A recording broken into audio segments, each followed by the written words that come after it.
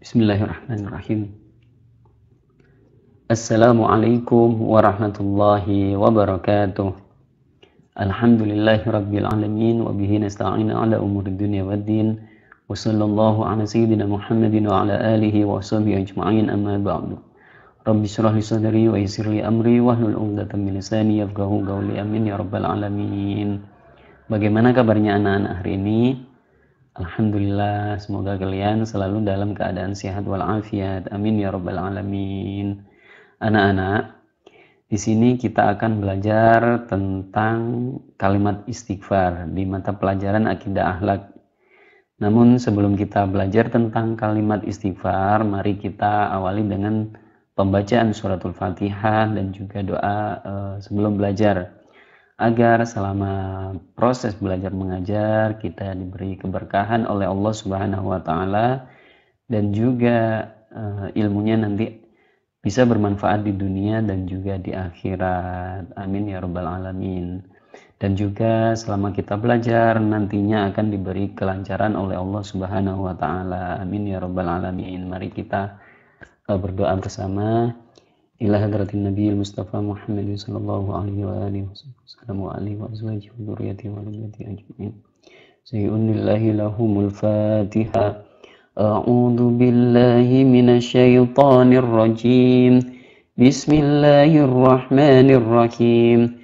الحمد لله رب العالمين. الرحمن الرحيم. مالك يوم الدين. إياك نعبد وإياك نستعين. اهدنا الصراط المستقيم. صراط الذين أنعمت عليهم غير المغضوب عليهم ولا الضالين. آمين. بسم الله الرحمن الرحيم. اللهم صل صلاة كاملة وسلم سلاما تاما على سيدنا محمد الذي تنحل به العقد وتنفرج به القرب وترضى به الحوائج وتنال به الرغائب وحسن الخواتم ويستسقى الغمام بوجهه الكريم وعلى آله وصحبه في كل لمة ونفس بعداد كل معلوم لك. بسم الله الرحمن الرحيم. رضيت بالله ربا وبالإسلام دينا وبمحمد نبيا ورسولا. ربي زدني علما وارزقني فحما آمين يا رب العالمين. Baik anak-anak, kita langsung ke pembahasan materi kita yaitu e, membersihkan hati dengan memohon ampun yaitu kalimat isti, istighfar. Nah, sekarang kita bahas tentang pengertian istighfar terlebih dahulu. Istighfar adalah tindakan meminta maaf atau memohon ampunan kepada Allah Subhanahu wa taala yang dilakukan umat Islam. Ya.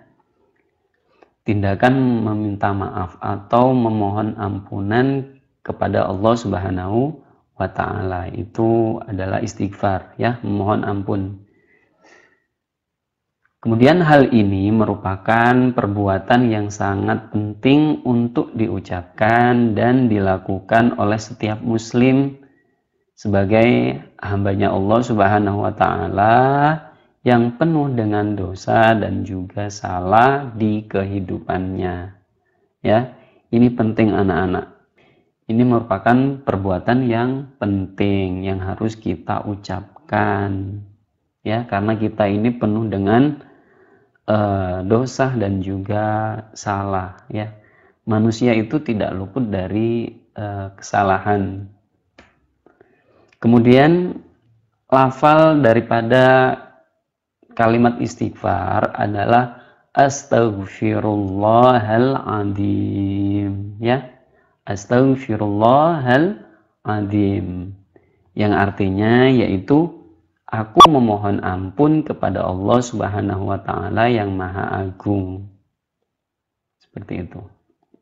Nah, anak-anak, kita ini sebagai seorang muslim, kita ini harus sering mengucapkan istighfar anak-anak. Karena kita ini membutuhkan ampunan Allah Subhanahu wa taala.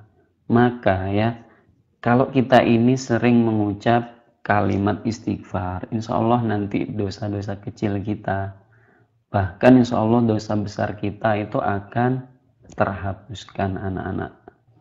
Yang sering kita ini mengucap astagfirullahaladzim ya.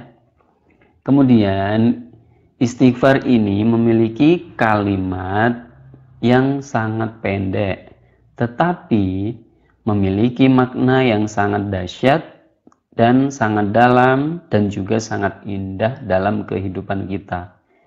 Jadi kalimat istighfar ini adalah merupakan kalimat yang pendek tapi memiliki makna yang sangat uh, dalam dalam kehidupan kita ya memiliki makna yang sangat dahsyat bagi kehidupan kita intinya kalimat istighfar ini pendek tapi buat hidup kita itu bermakna sekali seperti itu kemudian kalimat istighfar ini merupakan perwujudan sikap e, menyesal atas kesalahan dan dosa yang telah kita lakukan.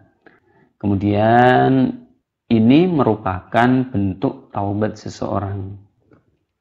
Kemudian waktu yang tepat atau waktu untuk mengucapkan kalimat istighfar ini kapan?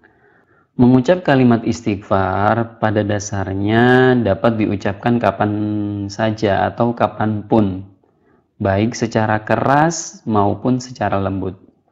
Namun, ada waktu-waktu yang lebih baik apabila kita mengucapkannya uh, atau mengucapkan istighfar tersebut anak-anak. Ya, berikut waktu yang uh, tepat untuk mengucap kalimat istighfar. Yang pertama adalah ketika melakukan kesalahan atau kekeliruan. Orang yang melakukan kesalahan atau kekeliruan itu dianjurkan untuk membaca kalimat istighfar anak-anak.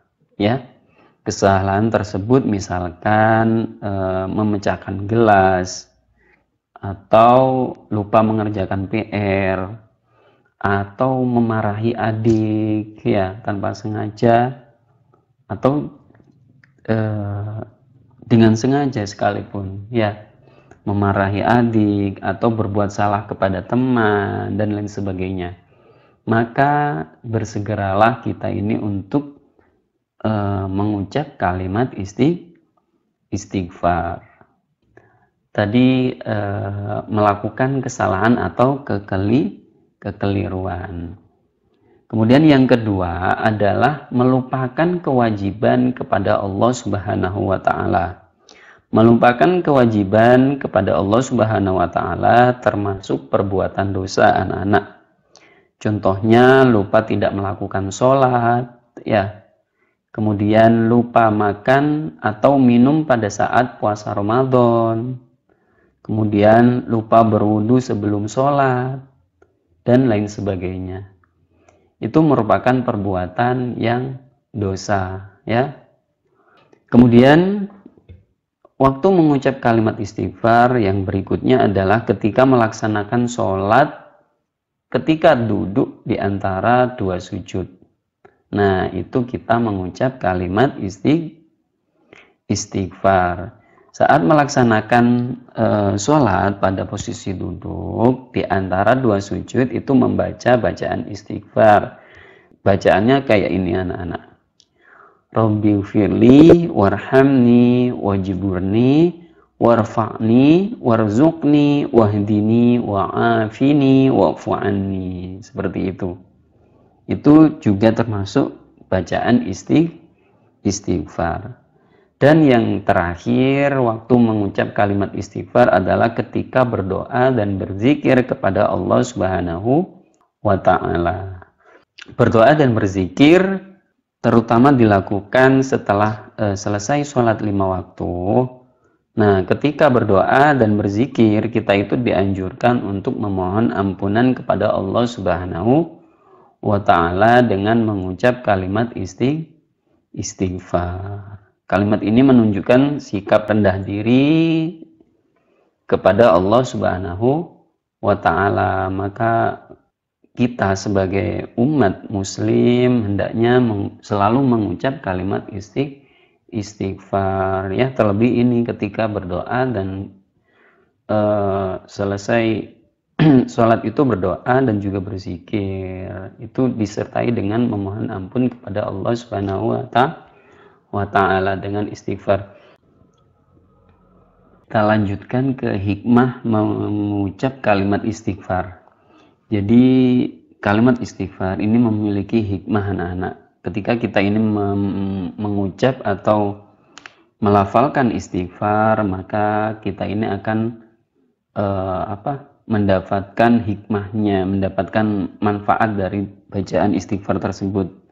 Hikmahnya antara lain yang pertama adalah hati kita akan menjadi tenang.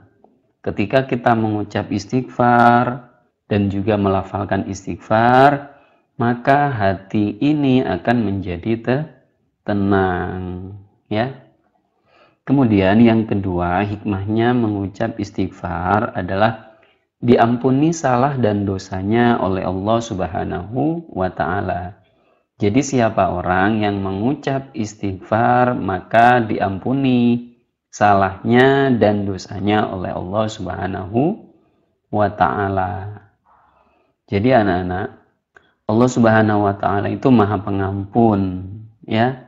Tak heran kalau kita ini mengucap istighfar maka akan diampuni uh, segala dosa kita maupun salah kita oleh Allah Subhanahu wa taala. Kemudian yang berikutnya yang ketiga hikmah daripada istighfar adalah diberikan kelapangan rizki. Nah ini anak-anak. Kalau kita rajin mengucap uh, lafal istighfar, kalimat istighfar, astagfirullahaladzim, maka kita ini akan diberikan kelapangan rizki oleh Allah Subhanahu wa Ta'ala. Anak-anak kalau uh, pingin rizkinya lancar, pingin doanya dikabulkan, maka seringlah mengucap isti, istighfar ya.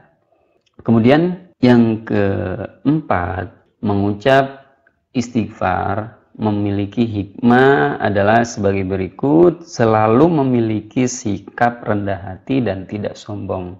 Nah, siapa orang yang uh, selalu membaca kalimat istighfar, maka orang ini akan memiliki sikap rendah hati dan juga tidak tidak sombong. Kita akan terhindar dari sifat jelek anak-anak. Kita ini akan diberi sifat yang uh, baik yaitu rendah hati dan juga tidak som sombong. Ya, mungkin itu saja anak yang bisa saya sampaikan. Nanti kalau ada pertanyaan, monggo kalian tanyakan. Sampai di sini perjumpaan kita. Insya Allah kita sambung di lain kesempatan di mata pelajaran eh, di apa pelajaran yang berikutnya. Allah alam bisawab. Mungkin ini saja yang dapat saya sampaikan. Kurang lebihnya saya mohon maaf yang sebesar-besarnya. Wallahul muwafiq ila aqwamit thoriq. Wassalamualaikum warahmatullahi wabarakatuh.